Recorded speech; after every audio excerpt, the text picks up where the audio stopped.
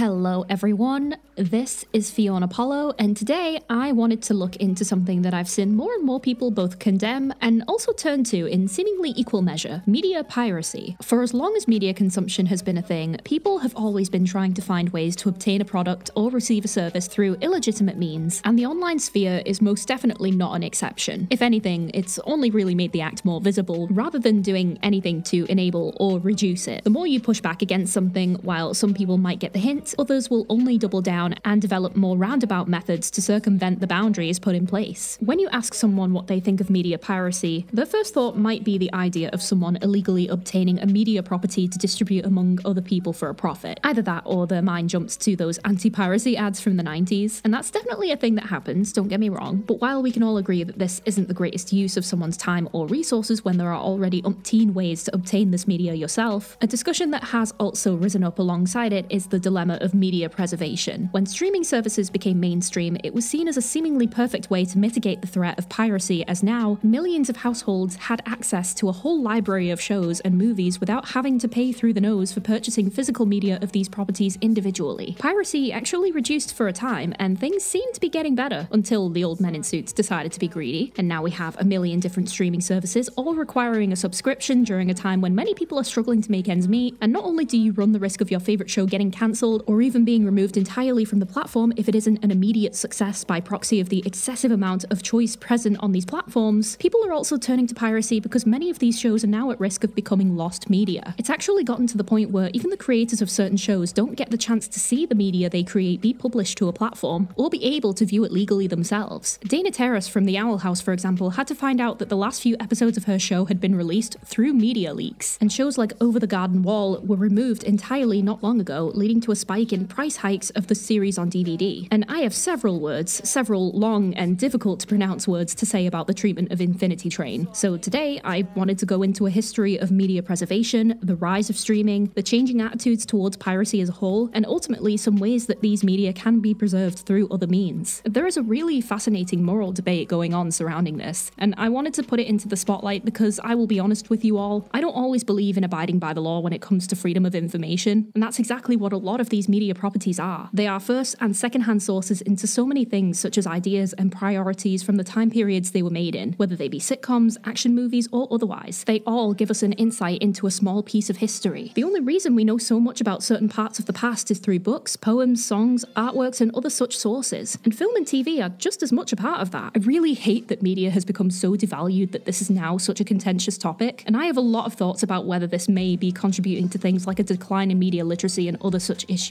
So here we are. If you like the sound of this, then please consider liking and subscribing. I talk a lot about pop culture and the effects of certain media, particularly regarding animation, as that's where my main interests lie. Please note that a lot of my more opinionated notes within these videos are purely speculative and not based in fact, unless stated otherwise. What do you guys think of pirating movies and shows? Do you do it? Do you know how to do it safely? Would you like to? Please let me know. All right, let's do this. So, first things first, let's go back in time a bit and have a look at what media accessibility and preservation was like in the past to give an idea as to how things have developed and how such circumstances can ultimately lead to piracy. Without going into too much of a rabbit hole, because technically we could go into the history of mass produced media at large, which is typically attributed to Johannes Gutenberg's 15th century invention of the movable printing press, I'm going to try and keep things more or less oriented towards the history of cinema. With regards to the rise of cinemas in particular, in 1891, an employee of the Edison Company, William Kennedy Laurie Dickinson created a prototype machine called the kinetoscope, which enabled one person at a time to view moving pictures. To use a kinetoscope, you had to look through an eyepiece on the top of the machine and you would be shown a film that typically only lasted about 20 seconds. The first kinetoscope shown to the public was in 1893, and by 1894 it was considered a commercial success, with public parlours popping up all around the world. And while this is a fascinating tidbit of movie history, the kinetoscope wasn't exactly developed to show a film to more than one person at a time. So, following this, the first people to present projected moving pictures to a paying audience were the Lumiere brothers in Paris in 1895. They used a device of their own making, the cinematograph, which was a camera, a projector, and a film printer all in one. In the very beginning, films were often only a few minutes or so long and were shown in places like fairgrounds or music halls. Despite the popular notion that movies were often silent, they actually often also included live music or even relied on audience participation similar to pantomime. And by 1914, cinema was becoming regarded as an emerging art form with several European countries developing their own film industries. Following the First World War, though, these industries took a big hit, and this allowed for American cinema to gain more prominence instead. With that, the rise of American cinema also coincided with the consolidation of Hollywood. Fun fact the American film industry supposedly had its roots in New Jersey in the late 1800s. Some of the main reasons for motion picture companies shifting over to LA was due to it being cheap at the time,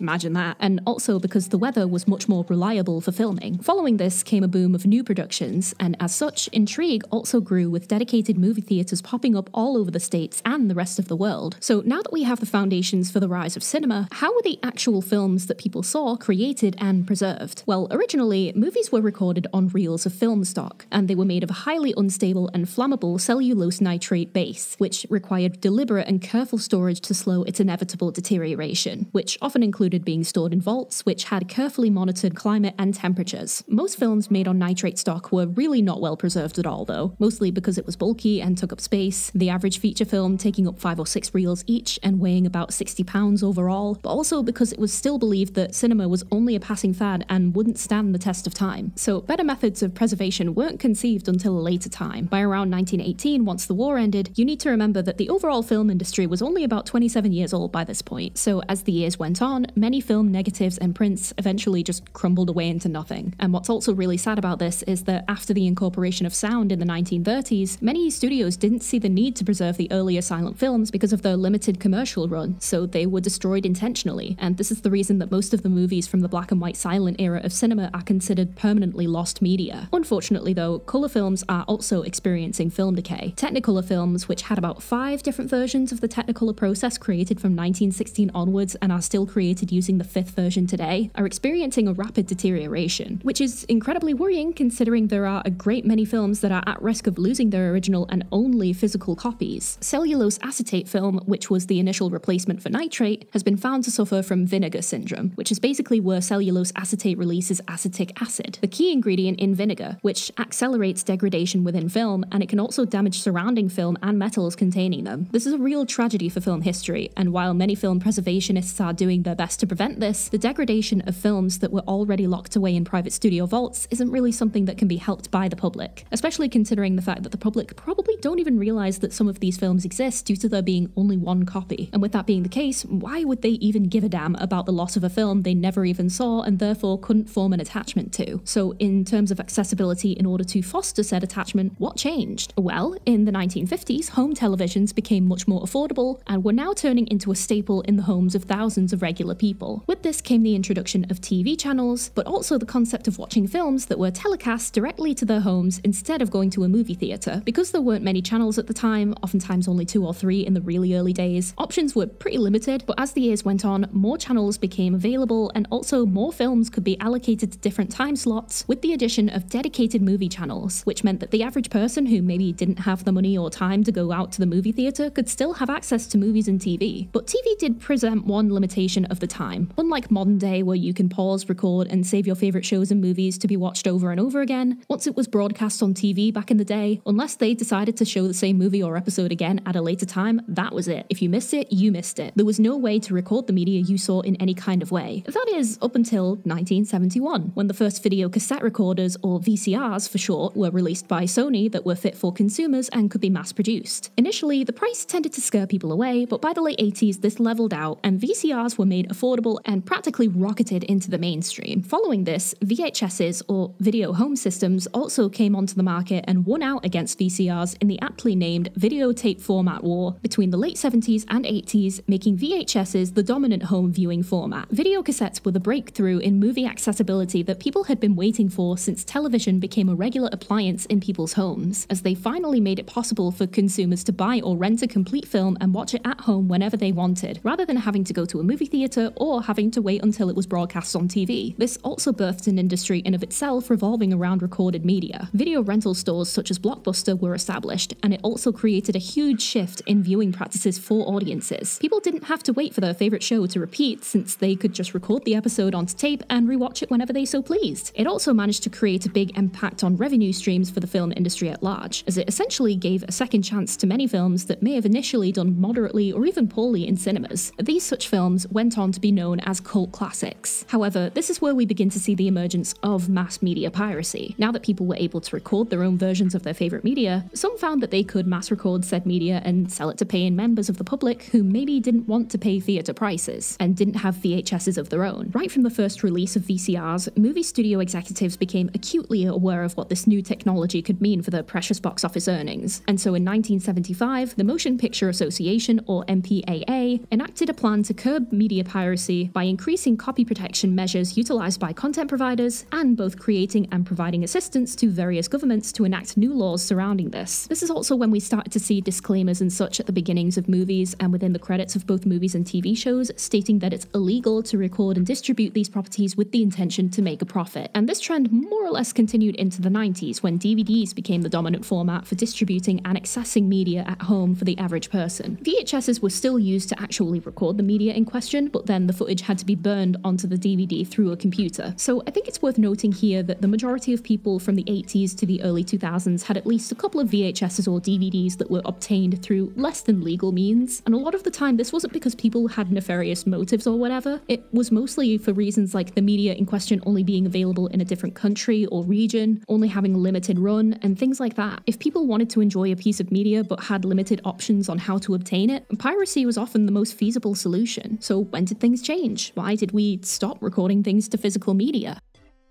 Well, that would be the internet. After the internet burst onto the mainstream and became a fast and efficient way for not just information, but entertainment and the like to be shared and distributed, this led to a whole wealth of different media being hosted on all different manner of platforms, mostly for free. Was it legal? Depends what it was. If you were watching anime on YouTube in three parts, then yeah, that definitely wasn't legal. But it was up and available, and did people really think the police were gonna come knocking on the doors of thousands of teenage weebs who happened across them? No, that wasn't happening. At worst, the person who uploaded the clips got slapped with a bunch of copyright claims, the clips would get taken down, and eventually the channel as well if they got enough strikes. That may have been more of a contentious subject if you went onto a dedicated website where media was illegally uploaded, and also where you risk clicking on sketchy pop ups and having some random lady's bits flash up on the family computer, and also downloading a virus that stole your mum's credit card info, but that's pretty much par the course for such websites, so, you know. The time in which this finally began to change and people's perspectives on piracy began to pivot was when streaming services like Netflix took the helm. Streaming provided a wonderful and efficient new way to catalogue thousands upon thousands of media properties without having to risk having your webcam hacked by a dark web hitman. And back when Netflix was the main streaming service and had practically everything on it from Disney movies to anime and whatever else you so wished for, it was great. You had a set fee to pay every month, you weren't having to pay for DVDs or box sets unless it was for a franchise that you adored, and everything was great and good. But that's not to say that Netflix was the first or only platform to do this, and there were a few others dotted around with similar concepts in the beginning. One such platform being Crunchyroll. Crunchyroll was founded in 2006 by a group of students at the University of California, and the site specialized in hosting content from East Asia, some of which included versions of East Asian anime and TV shows that had been subtitled by fans. Crunchyroll is quite an interesting case because in the beginning it did in fact allow uploads of material that wasn't officially licensed, but then Crunchyroll eventually began securing legal distribution agreements with companies, and after announcing a deal with TV Tokyo to host episodes of Naruto Shippuden. Once this happened, Crunchyroll began removing all copyright infringing material from its site and only hosting content that it had legitimate distribution rights to showcase. And while I do understand why they did this, I can only imagine that there may have been some shows and such that were removed which Crunchyroll have never managed to secure the license agreements for. But alas, it wasn't a huge issue at the time, and for a while, platforms like Netflix and Crunchyroll had quite a monopoly on their respective corners of the online entertainment sphere. That is, until The Rat decided that it also wanted a piece of the pie.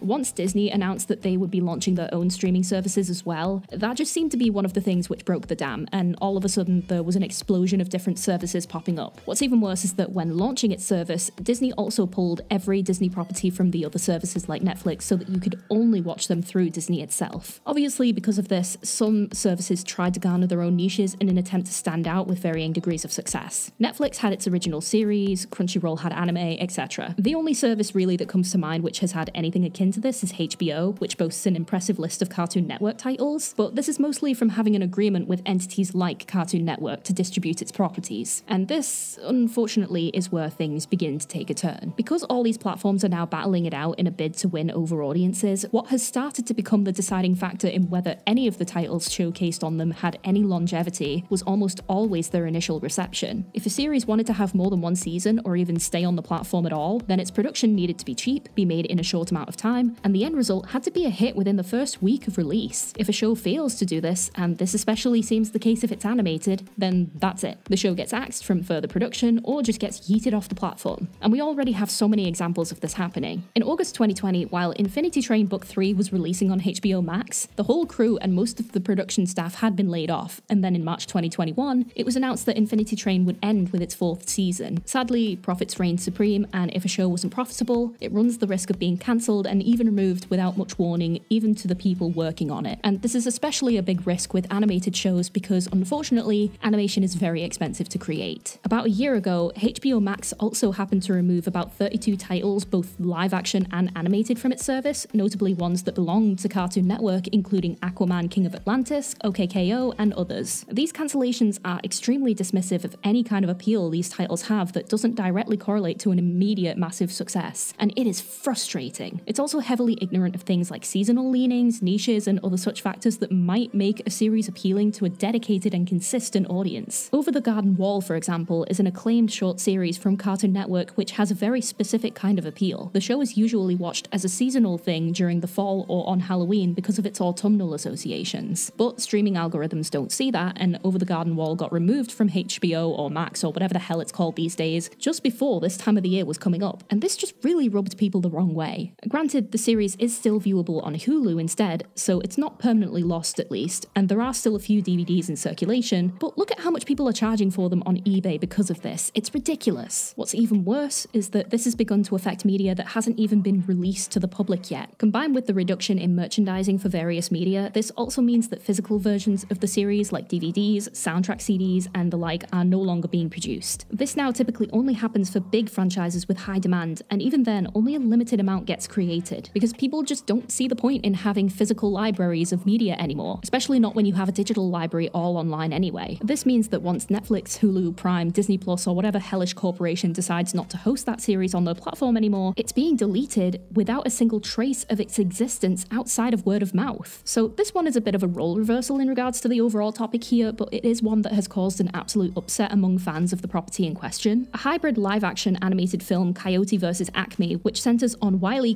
Coyote from Looney Tunes, was set to release in movie theaters in July 2023 and was completely finished production wise, like the entire film was done. It was completed. But despite this, Warner Brothers instead chose to swap the film out to release the Barbie movie in its place. And then later on, it came out that the film would not be released in favor of being used as a $30 million tax write off. None of the crew were told about this until after production was over, and once it came out, many voiced their frustrations online, leading to calls from the general public for Warner Bros. to release the film, which are still ongoing. And the reason I say this was a role reversal is because streaming services did in fact try to purchase the rights to host the film on their services, but they were all turned down. What I will give these platforms credit for is that in many cases, especially in regards to feature films, services like Netflix have done a good job of allowing certain titles the chance to flourish. One such example being Nimona, after it got junked by Disney. Speaking of Disney, what can also be an issue is that many of these platforms also region lock certain media, meaning that if you don't live in the right part of the world, if you want to watch a certain show, or at the least watch it before other people post spoilers online, you either have to wait for it to become available, which might never even happen, use a VPN, which are now becoming vilified targets for anti piracy campaigns by these companies, or you download it illegally. And what's especially ridiculous is that some shows are region locked in countries where that property would absolutely thrive. Disney Plus has actually recently launched a series called Iwaju, set in Nigeria, but guess what? Actual people living in Nigeria can't watch it because Disney Plus isn't available in their country. So, with all of this happening, is it any wonder that people are turning to piracy? Are the suits really that surprised if someone likes a show enough that has been done a disservice by its own platform, that person will go out of their way to preserve it? Well, What's really interesting about the perspectives around piracy now versus back in the 80s and 90s when it was at its peak is that I think a lot of the negative associations come down to a fear of the unknown. The average person back then had a good grasp on how to record their own media using VHS or by burning CDs and DVDs because the technology was new and already in their homes. Whereas now, it doesn't feel like as many people know how to go about recording certain media in a safe way because they've grown up in an age of convenience, which seems to actively discourage knowing how to do these things. A lot of restrictions have been put in place, such as streaming platforms disabling screenshots and screen recording. And while some more tech savvy individuals may know how to bypass this, I feel like it's mainly people in generations like Gen X or millennials who grew up with a lot of rapidly changing technological advances that understand how to do this more, because they grew up having to learn to adapt to it. And it's not just the younger generations who have issues with accessibility of certain media. Do you want to know who is the worst for pirating shows and movies that I know of? My nan. she doesn't know how to safely navigate the internet, nor does she have her own recording equipment, and pensioners can't be spending all their money on these different streaming platforms. So what she does instead is if there's a particular show or film she really wants to see, instead of paying for any one subscription service, she literally pays a guy she knows to burn them onto DVDs at a discounted price. It's usually like two or three quid or something to pay for the blank discs and cases he gets for them,